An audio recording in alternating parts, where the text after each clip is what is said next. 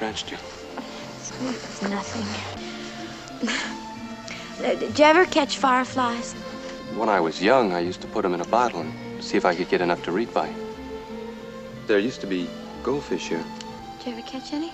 No, I wasn't supposed to. Then last winter, we forgot to take them out, and they all froze solid. That poor Cupid. He looks lost without them. he looks like he's waiting to be kissed. He is. How can you tell? Well, I can't really. I just know how he feels. Oh.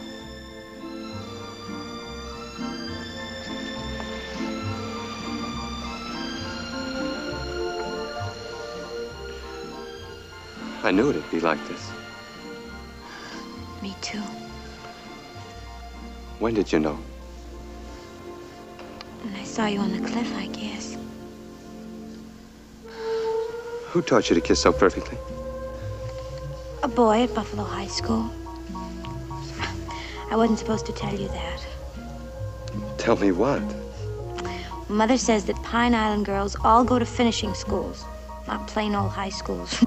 but I loved going there. Was this boy who taught you your steady? No, he was president of the student body. I was only a sophomore at the time. We used to go up on the roof.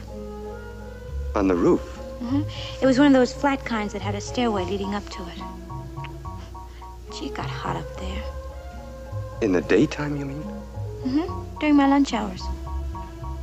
Lunch hours? Did, did you keep doing it? Till I learned. Oh. Ah, it's that almost perfect kiss in the summer at uh, Troy Donahue and Sandra Dee from the film A Summer Place, and that opens up tonight's edition of the movie program on public radio KCBX across the aisle from me, still wearing sunglasses and reeking of suntan oil. It's the one, the only Bob Whiteford. And across the aisle from me, a man I'm proud to call friend. Of course, I'm talking about the undisputed czar of film on the Central Coast, your friend and mine, Jim Dee And I got to tell you, Jim, I'm looking over in the production booth at, I think that opening clip just turned Hank red. Ready for summer, a summer of love.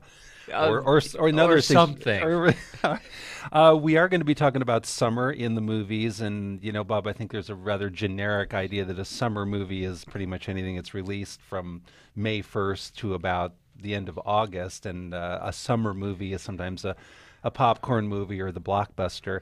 But we're going to go a little bit differently than that on tonight's program. We are going to be talking about some films that uh, summer is integral to the plot. Almost summer is another uh, character in the film, or the film would be perhaps less if it wasn't taking place in the summer. And there's um, a ton of summer films, but we've sort of hand selected a bunch uh, for our summer movie show. And we did open up with A Summer Place, that great theme that became a hit, what, about 1960? Percy Faith and his orchestra took a, scene, a theme from A Summer Place and made it into a big hit.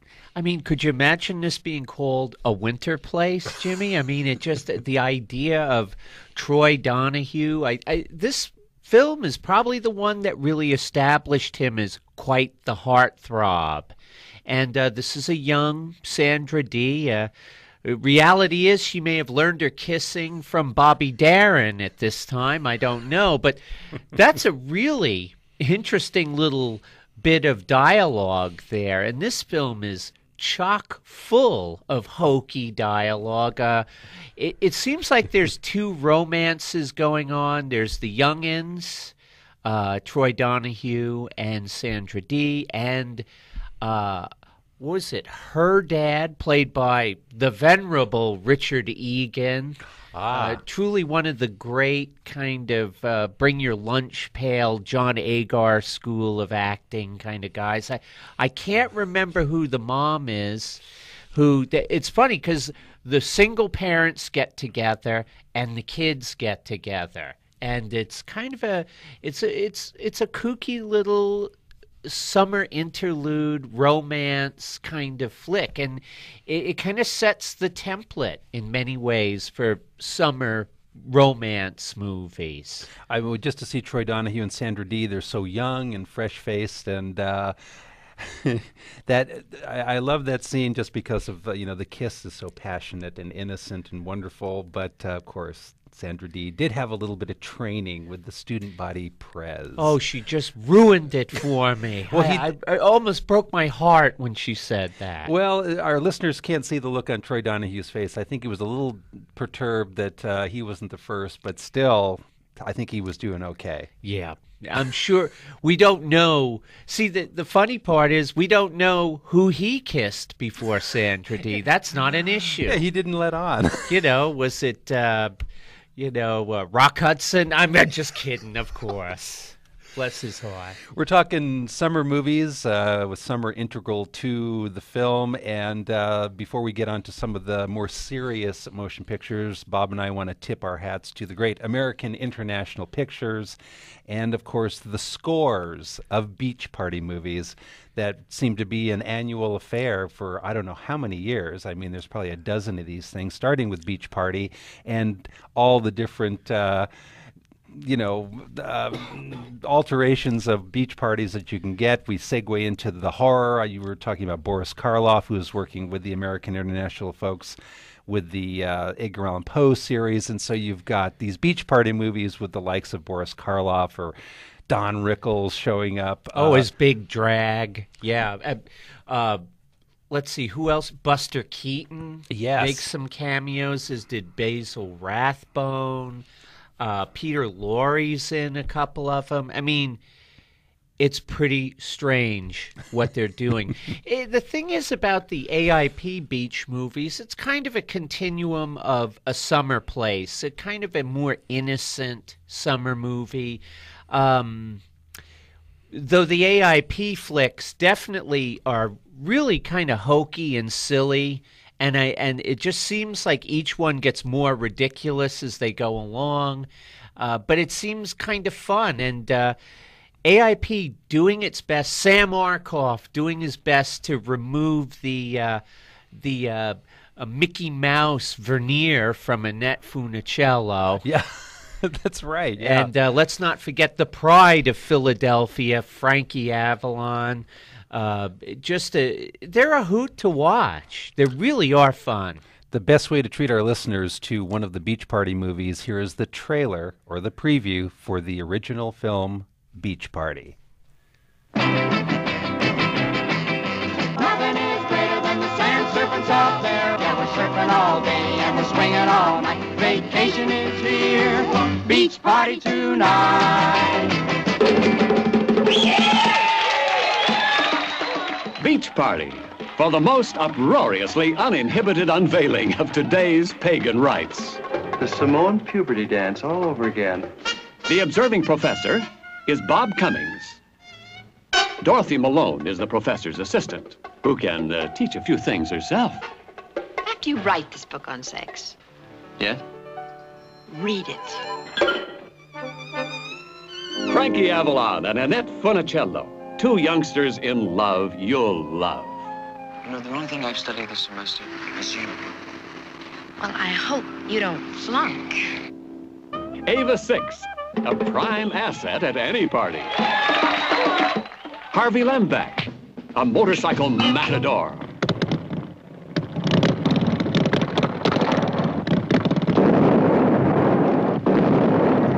Morey Amsterdam, host to Hot Doggers and Beach Bunnies.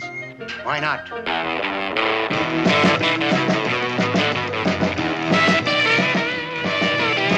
Keep a moving and a grooving. Don't stop now. Don't stop now. Promise me anything but give me love. Secret service spot where only I know the Grimmies and the Hodads never go. Surfing, swinging, and surfing. Yeah, just surfing. Uh-huh.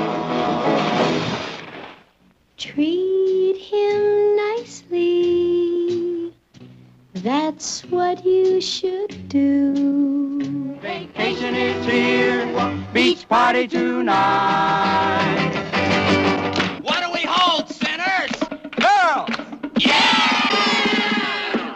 There's an irresistible surge of that urge to romantically merge. Ah, it's wild and wonderful when 10,000 kids beat on 5,000 beach blankets. Hey, wall-to-wall girls. Laughing, loving, living it up.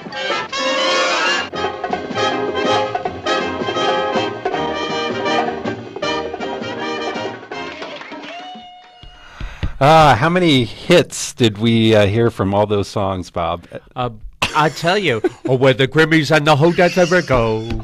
Oh, where the Grimmies and the Hodads ever go. What is that? You know, it's like when I'm watching this on the East Coast, it's like, what the hell is he talking about? He's talking about me.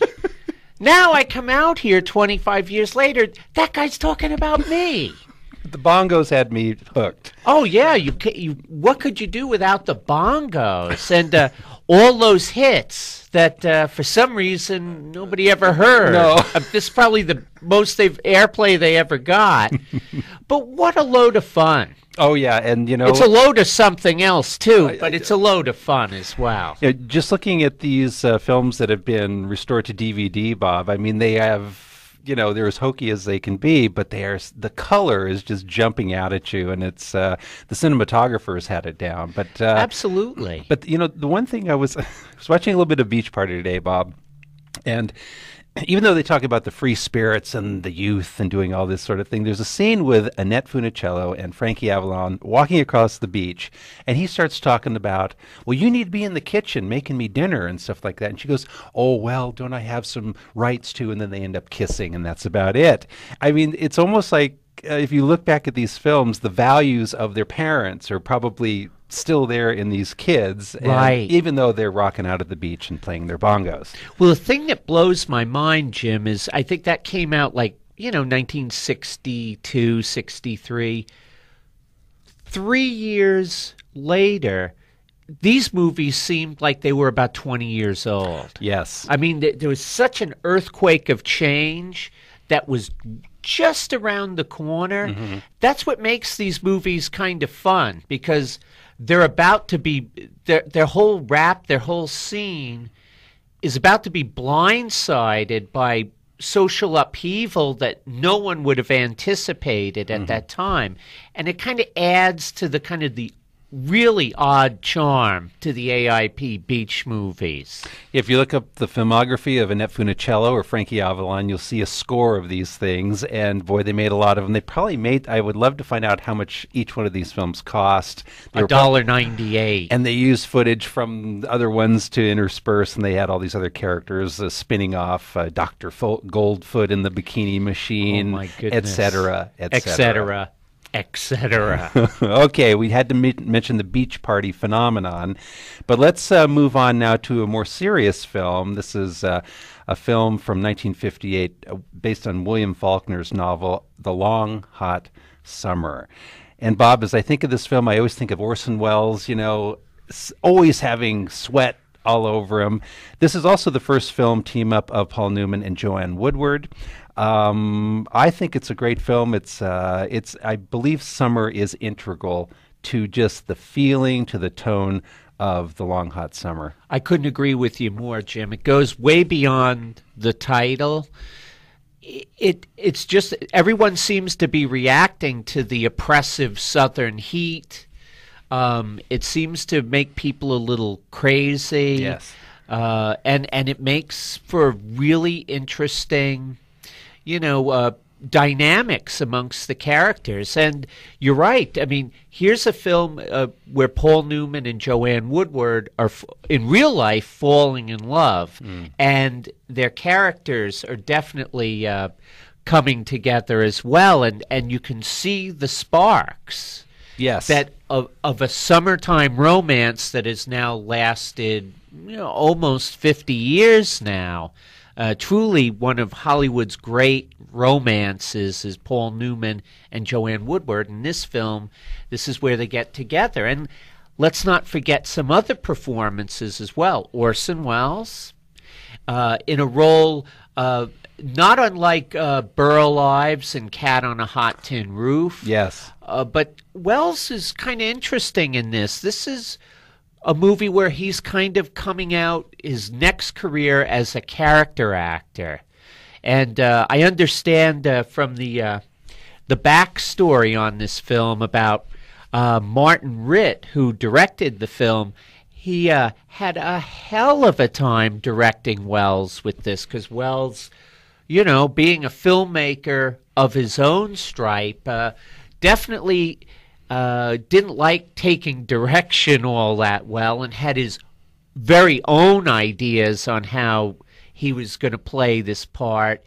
And this we were kidding about this before we went on the air, Jim. This is kind of like the uh, actors' studio summer movie Uh because uh, you have Paul Newman, Joanne Woodward, Tony Franciosa, Lee Remick. They all come from the uh, the Method School, the Actors Studio, and then you have Orson Welles, who's Orson Welles. He isn't ain't like anybody else. Uh, definitely, he's as much uh, an, an uh, he runs against the grain of the studio system like the uh, method actors do. So naturally, you'd think they'd be, you know, creative allies. They weren't during the making of this film. So that made some uh, summer sparks fly. But the bottom line is the finished product.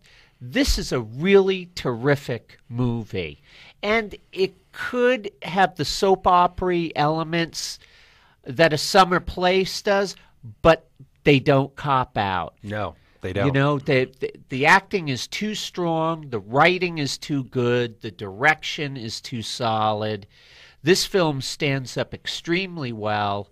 And, you know, I mean, let's face it, back in 1958, and as you heard from A Summer Place, too, from 1960, you can't talk that openly about sex and passion, so you have to use metaphors and whatnot.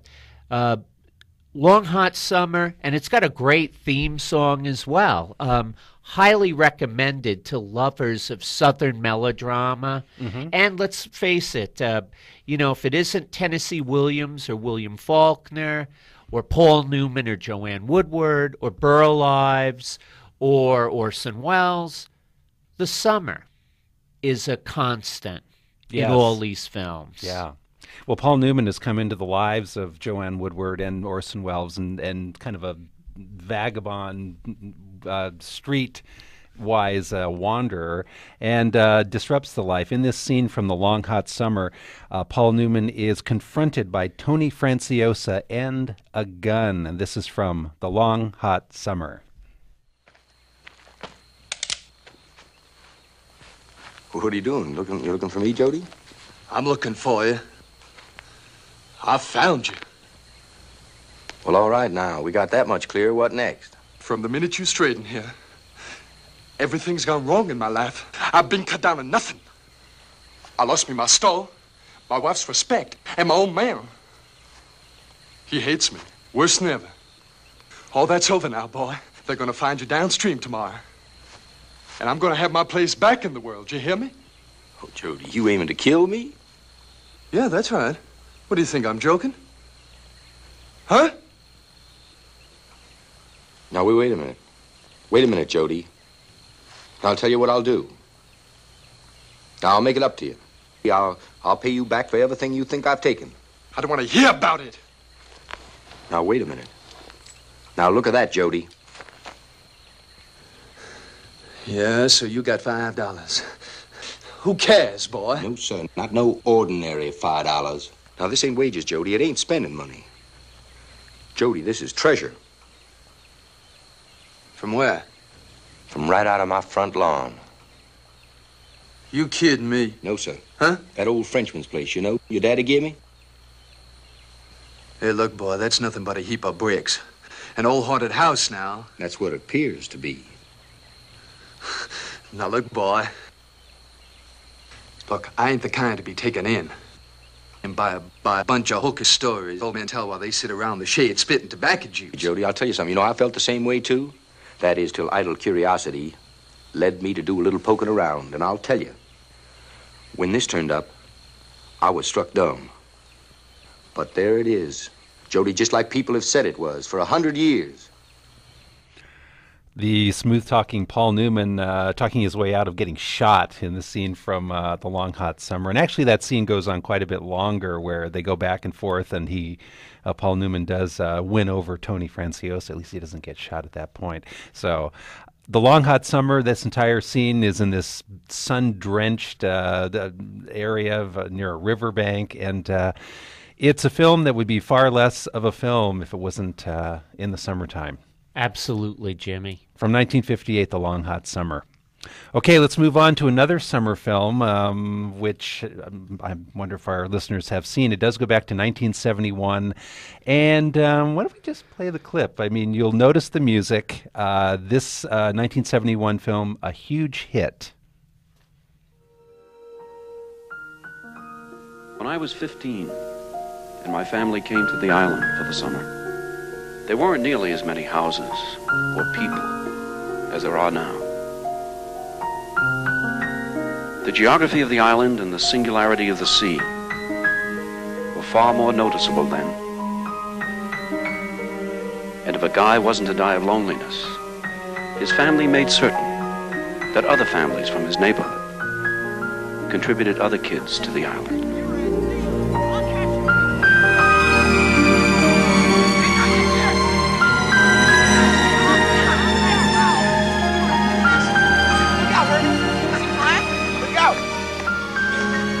Present with me in the summer of 42 were Oscy, my best friend, and Benji, my next to best friend. We called ourselves the Terrible Trio.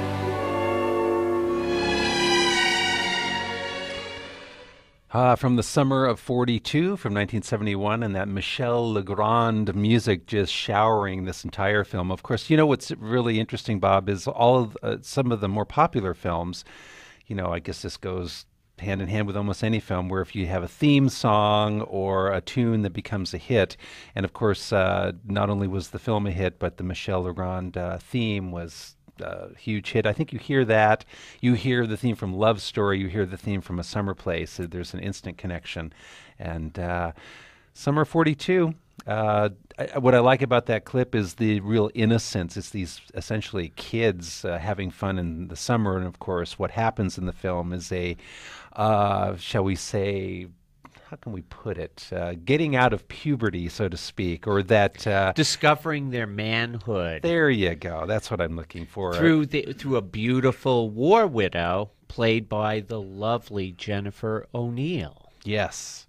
So these innocent beginnings of kids playing uh, at the beach on an island during the the summer uh, becomes much more in the summer of '42. Well, it's kind of their awakening is uh, mature men. Mm-hmm. Uh, of course, they're not, but uh, their hormones have finally taken control, and uh, it's a sexual awakening. Yeah, and beautifully done. And it's a jump start. It's you know, it's exactly. yeah. I mean. Man, Jennifer O'Neill, your first amour out of the gate, that's that's a quantum leap.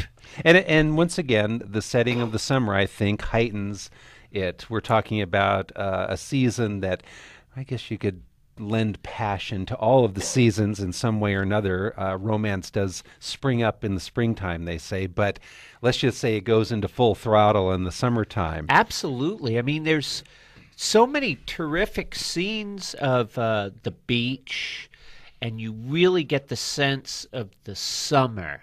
You know, you can feel almost feel the heat and it you can see the sense of the languidness, the uh, you know time that kind of stands still, like a, a, hot summer day will do. It just everything seems to kind of grind almost to a halt. Well, yeah, you're not working or you're out of school. It's a period of time where the the sun is shining. You're you're out of a typical routine, and let's say that passionate things can happen during that time. And do in Summer 42, a wonderful summer film.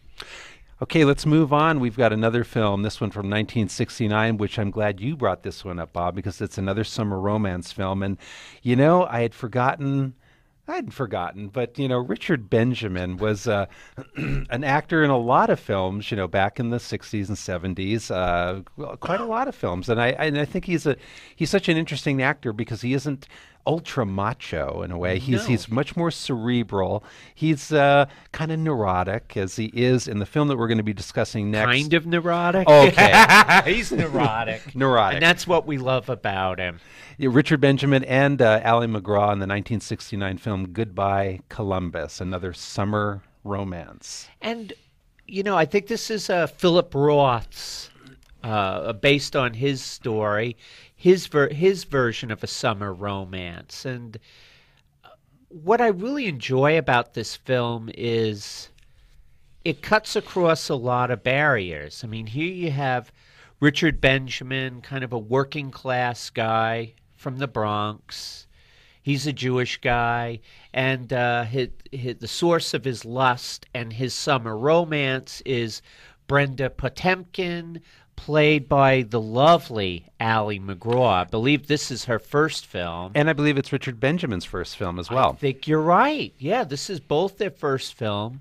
And what's interesting is there's there's a, a class difference between them.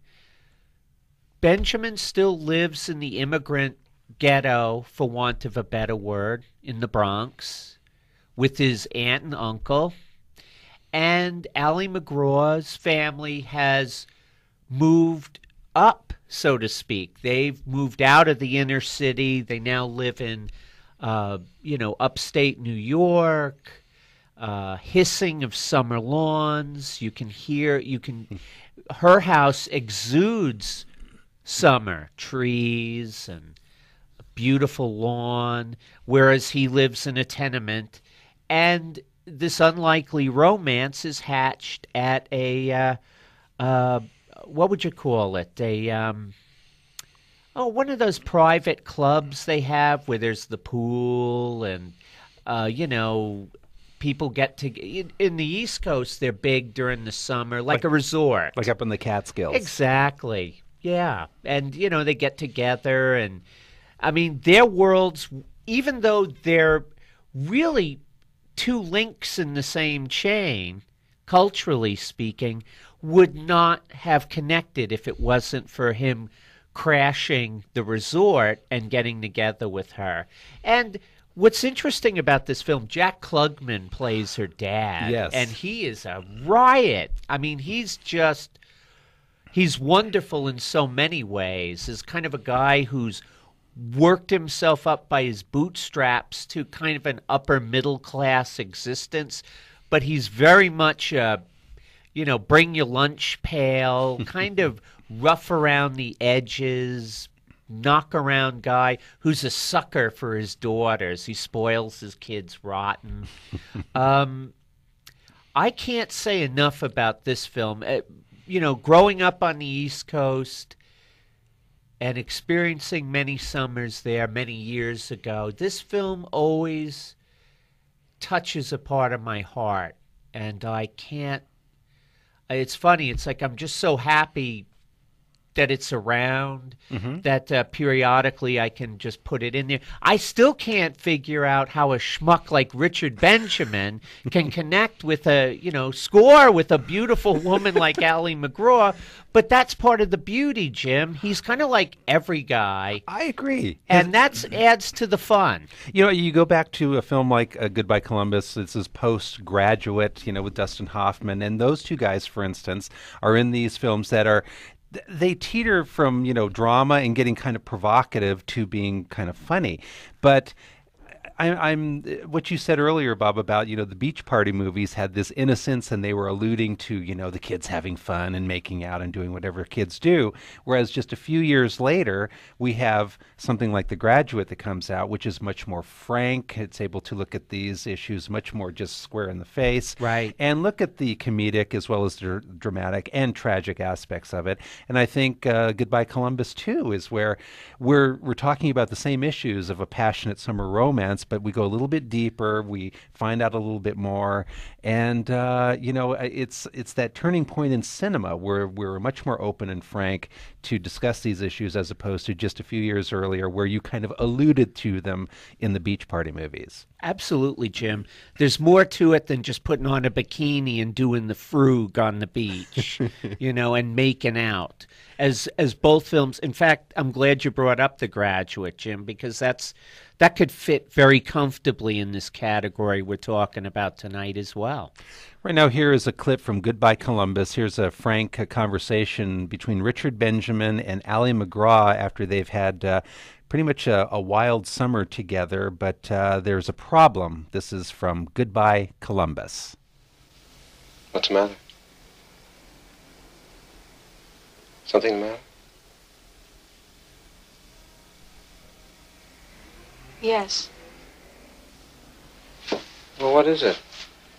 You didn't mention anything on the phone. I only found out about it today. What? They found out about it. About our sleeping together this summer. I don't get it. My mother found the thing. The diaphragm? Yes. Where? She was cleaning out the dresser. The dresser in your home? Of course, in my home. You left the thing home? Well, I didn't plan on using it here. Well, suppose I came up. I mean, I mean, I have come up. What about that? I thought I'd go home first. Couldn't you carry it with you like a toothbrush? That's Richard Benjamin and Ali MacGraw. and actually, we we left we cut that clip, you know, with you know, did you uh, can you carry it like a toothbrush? That's funny, but this conversation keeps going on and on, and it's really am- an amazing scene. And the fact that Ali MacGraw really does seem like she is still home and even you know she doesn't want to leave home and the idea of, of actually letting cutting loose from her family seems to be the issue. And you know what's interesting as well jim?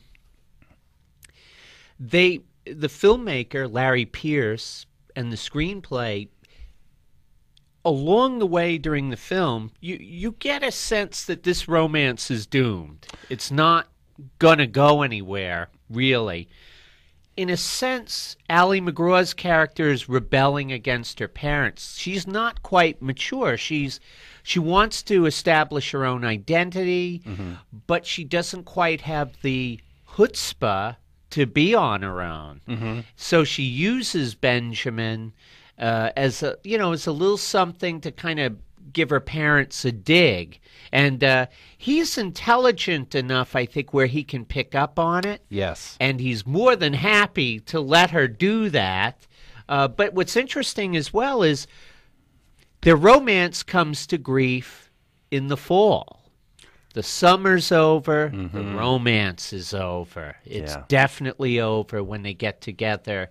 I think she goes to Radcliffe or somewhere, and he comes up to visit, and you just got to. I mean, it's it, the weather's kind of gloomy mm. and damp, and you just get the sense that this romance is done. That's Goodbye Columbus from 1969, one of the summer movies we're talking about on tonight's edition of Take Two, the movie program on public radio, KCBX San Luis Obispo, KSBX Santa Barbara, streaming across the world at kcbx.org.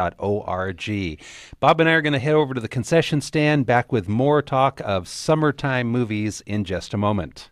We're back on public radio, KCBX. It's Take Two, the movie program. Bob Whiteford wearing his summer sunglasses on tonight's program. My name is Jim Dee, and we're talking about summer movies, not so much movies that are released in the summer, but are uh, have summer as a setting or uh, summer is integral to the movie itself. I'd like to remind you, you can write to us at movies at kcbx.org. And um, if you go to the KCBX website, kcbx.org. You can also download previous programs of Take Two. Just go to Audio Archives and you'll find uh, the Take Two programs there on the KCBX website. Go on and write us. You know what? we'll actually write you back. Movies at kcbx.org.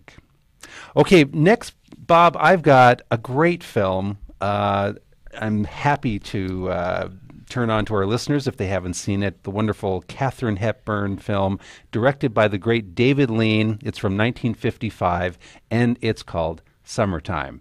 And um, what a great movie! It's beautiful. If you want to see Venice, uh, check out this movie.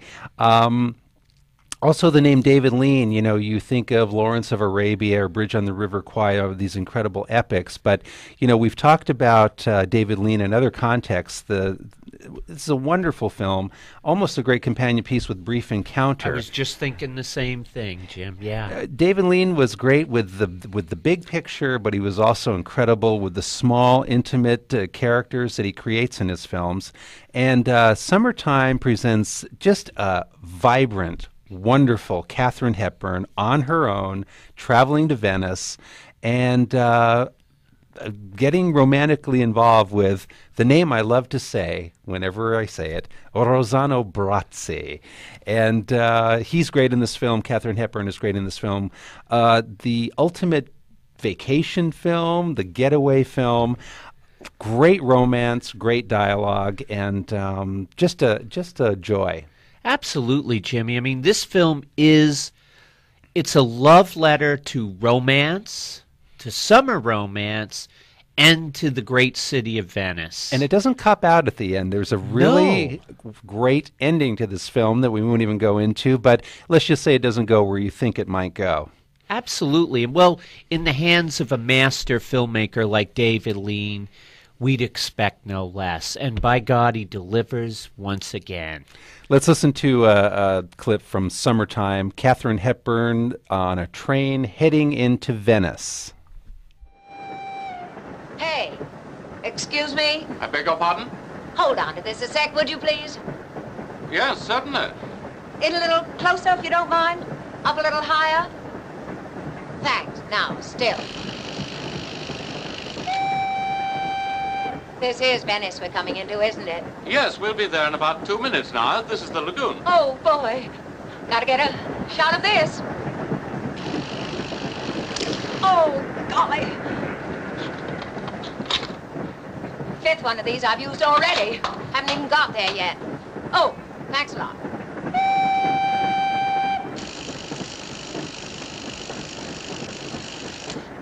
Is this your first visit to Venice? Yes. Is it yours? No, I've been here several times. Several times? You have? Yes. I hope you're going to like it. Like it? I've got to. I've come such a long way. I've saved up such a long time for this trip. Do you think I maybe won't like it? I'm sure you will. But not everybody likes it in the same way.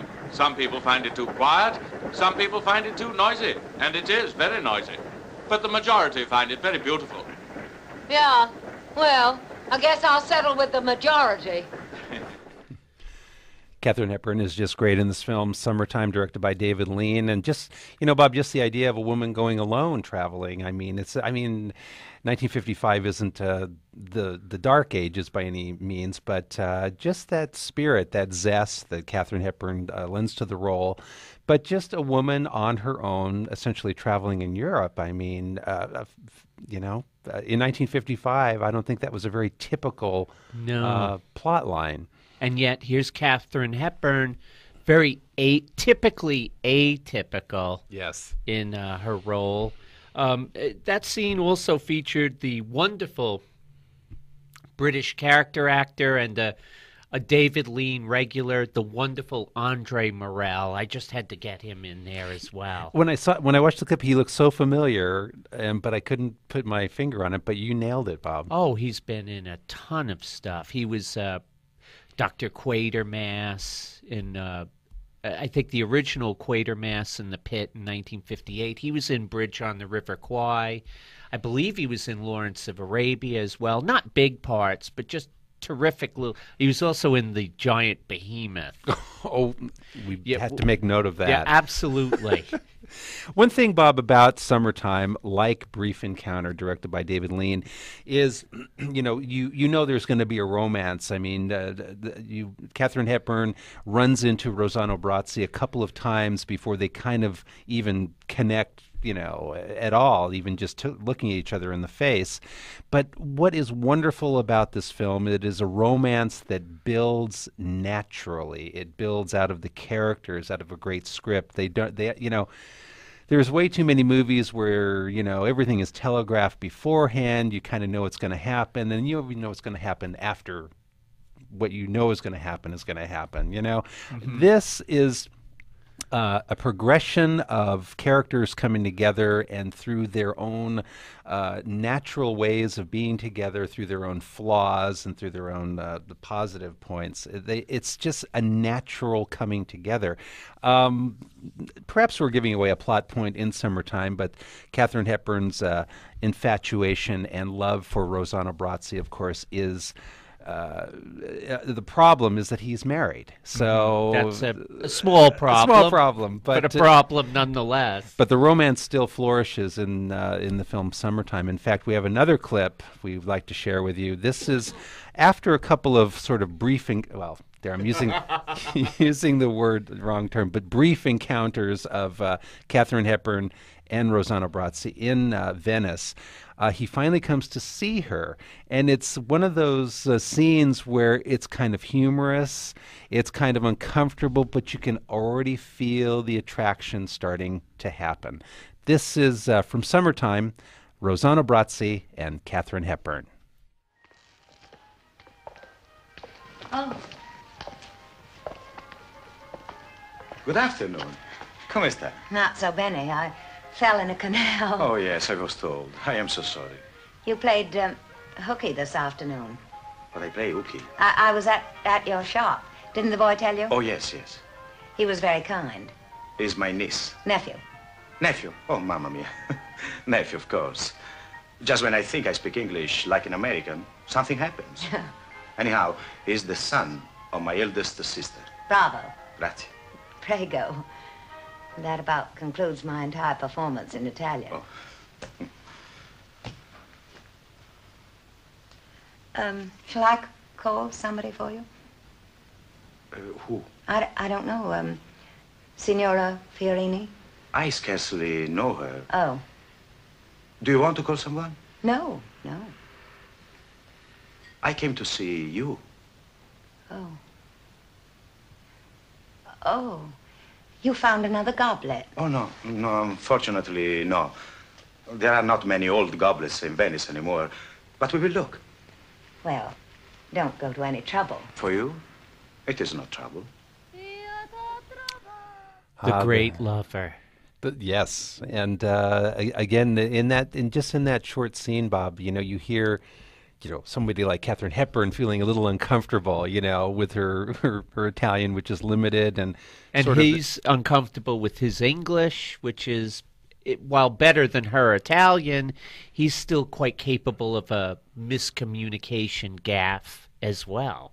And just to hear both of these uh, great actors. Uh, uh, a little bit squirmy, a little bit uncomfortable. It's just a really great scene, and there's the humor involved where they're, you know, just uh, them being themselves essentially, but that kind of uh, uncomfortable first meeting. And but out of this, I think you can feel the, the earth moving ever so slightly. Absolutely, with, with these you, two. You know that something's up, and I think it's fair to say with Rossano Brazzi that he's kind of the forerunner of the great cinematic Italian lovers that were to come later. Uh, Vittorio Gassman, who ended up marrying uh, Shelley Winters. Uh, of course, the wonderful Marcello Mastroianni, mm-hmm. and later on Giancarlo Giannini. So he's he's uh, maybe not the first, but he's definitely one of the first great continental lovers, we'll call them, in you know, cinema. You know, South Pacific comes to mind, and I'm just trying to think the date on that. Um, I think that's a few years later, like years 57 later. or okay. so. He was terrific in that. Well, both Bob and I highly recommend a wonderful film to watch anytime, but it's especially great in the summer.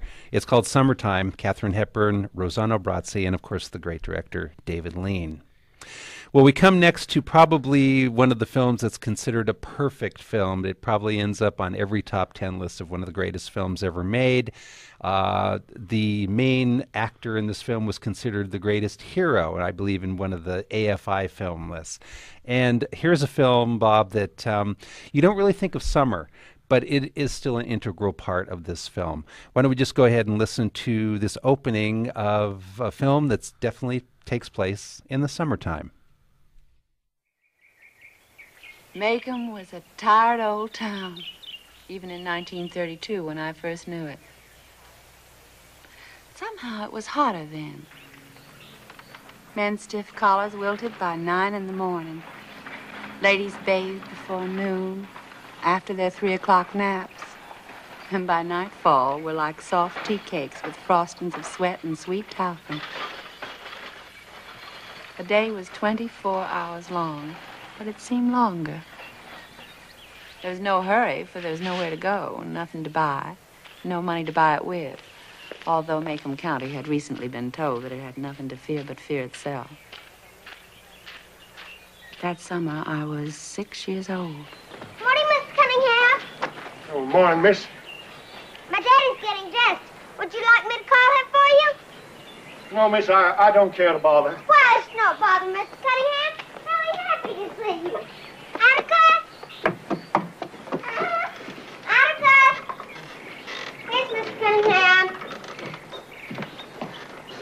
morning, Walter. Morning, Mr. Finch. I didn't want to bother you none. I brung you these here hickory nuts as part of my entailment. Well, I thank you. The collards we had last week were delicious. Well, morning. Morning.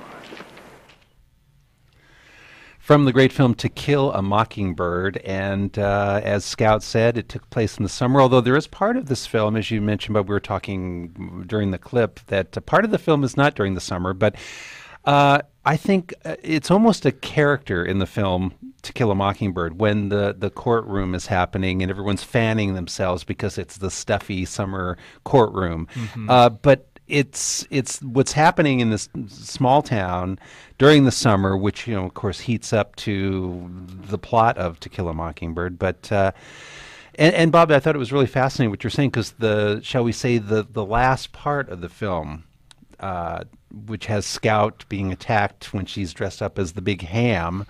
Is in the fall. It's um and it's a whole different feel. I mean, the film has been taking place during the summers, but then in that uh, sort of final chapter of the film, there is something eerie about the fall. The leaves are falling, and that's when Boo Radley comes out. When the kids are attacked by uh, the uh, Oh, what the heck is his name? Oh, You I- know, he's just such a vile man. Yes, yes. Um, what's interesting, Jim, it's the narrative of this film. This takes place over several summers. Yes. and it's told for the most part through the point of view of the kids. It's like. You know, each summer Jem comes. Yes. That's like the marking of summer. Oh. And when he leaves, Well, Jem not Jem. Uh, who's that? Uh, Dill. That's it. Yeah, Dill. And uh, when Dill comes, that's when summer begins, and when he leaves is when it's over. And you know, over a couple of summers, you know, the story's progressing. It's a, it's what a wonderful film, and the idea of this, you know, the summer. You're right, Jim. It's absolutely integral in the plot. not I mean, it- overt, but but it's there. it's there. It's you know, it's like you say, it's like the people fanning themselves in the courtroom. It's almost like it's so hot that you know certain things can't happen. They kind of simmer under the surface. Yes. Till things cool off enough when they can act, uh, when when the atrocities can happen, and the film's, you know, really uh, powerful conclusion has to happen outside of summer because it's almost like it's too hot for things to go down before that. I don't know. It's but it's a classic summer film. I agree, and uh, I, I think it would be a lesser film if it's somehow. I mean, I, how can I call To Kill a Mockingbird a lesser film? I still think you know maybe any season it would have been okay, but for what is good, the plot line of the film, the fact that it takes place in the summer just adds to it. Well, it's it's it's part of that classic tradition in cinema of if it takes place in the South, it's the summer. It's it's Yeah. got to be an integral player in the South. This is the summer.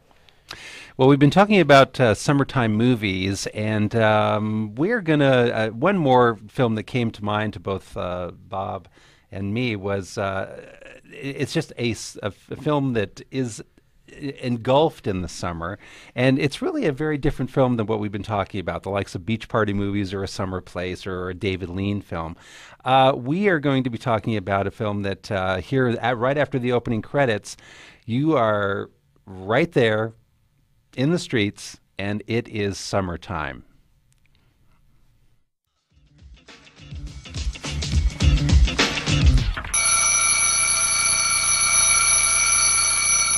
Wake up! Wake up, wake up, wake up! Up you wake, up you wake, up you wake, up you wake! This is Mr. Senior Love Daddy, your voice of choice, the world's only 12 hour strong man on the air, here on We Love Radio 108 FM. The last on your dial, but first in your hearts, and that's the truth. Root. Here I am. Am I here? You know it. It you know. This is Mr. Senior Love Daddy doing the nasty to your ears, your ears to the nasty. Eyes only play the platters that matter, the matters they platter. And that's the truth. Root. From the heart of Bed-Stuy, you're listening to We Love Radio. Doing the yin and the yang, the hip and the hop, the stupid fresh thing, the flippity flop. Oh! I have today's forecast for you. Hot! The color for today is black. That's right, black, so you can absorb some of these rays and save that heat for winter. So you want to get on out there, wear that black, and be involved. Also, today's temperature is going to rise up over 100 degrees, so there's a Jheri Curl alert. That's right, Jheri Curl alert. If you have a Jheri Curl, stay in the house, or you'll end up with a permanent plastic helmet on your head forever. Well, that's from that's from the great Spike Lee film "Do the Right Thing." That's a very young Samuel Jackson as the disc jockey who appears throughout the film. But you know, Bob, I was I, I thought of uh, "Do the Right Thing" just because the summer is integral to this film. Absolutely, I think uh, Spike Lee in that opening scene, right after the opening credits, he he he says, "Hey, this is summer. It's going to be hot. It's going to be real hot." Jheri curl alert. and uh, this this from the scene, you see uh, Samuel Jackson at the radio station, and, and the camera sort of pans, and the whole film has this sort of amber look to it, you know, which I think even more so says this is summer. And of course, what happens in Do the Right Thing, a lot of things erupt, a lot of things happen. And, uh, you know, those fire hydrant things are opening up and the water's spraying, but it's a hot summer in Do the Right Thing. Absolutely, Jim. Uh, it this is a, a little different from like a small southern town. This is inner city, hot, humid summer. Yes. And uh, unlike maybe in uh, you know where things stay under the surface in a small southern town, in this urban environment, Spike Lee's urban environment, Bensonhurst, things are brought to the fore. This is where things aren't swallowed or hidden or repressed. They come out in spasms of. It's like the heat is like a instigator. Yes. Unleashing a lot of rage, a lot of pent up feelings. And um, this is a powerful film. I mean, this is the movie that really put him on the map. Yes. Well, uh, believe it or not, our time is up. Uh, we hope you've enjoyed our overview of summertime mu- movies. Summertime, not so much release time, but summertime being an integral part of the movie. And just running over some of our recommendations A Summer Place, check out a beach party movie or two if you want to have a crazy time. Or three if you're really sick. the Long Hot Summer, Summer 42, Goodbye Columbus, The Great Summertime, directed by David Lean, To Kill a Mockingbird, good anytime, any season, and finally Spike Lee's great film Do the Right Thing. Our big thank you to uh, the man that Samuel Jackson took the place of. That's uh, Hank, our projectionist tonight. Bob, thanks for being here, and thanks to all of our listeners. Thanks, everybody. We'll catch you next week here on Take Two.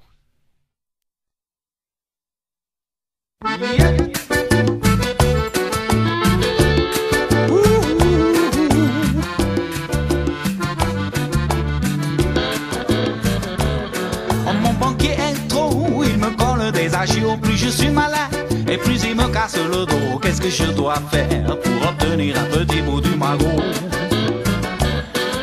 que je dois faire pour obtenir un petit bout du magot Je vais chez le maire demander des subventions, mais les fonctionnaires font une manifestation. Qu'est-ce que tu veux faire contre la colère de l'administration? Oh, qu'est-ce que tu veux faire contre la colère de l'administration?